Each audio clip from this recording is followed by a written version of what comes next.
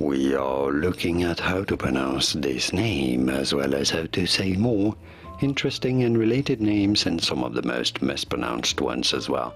So make sure to stay tuned and consider subscribing for more learning. This is a surname of German origin. How do you say it? Schultz. Schultz. Pretty straightforward once you know Schultz. And now you know. Here are more videos on how to pronounce more interesting names whose pronunciations aren't always obvious. I'll see you there to learn more. Thanks for watching.